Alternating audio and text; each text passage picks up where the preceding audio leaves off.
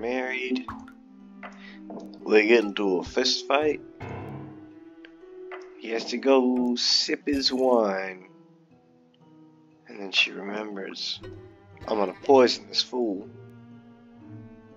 And then he drinks the poison. But cat. Whoa.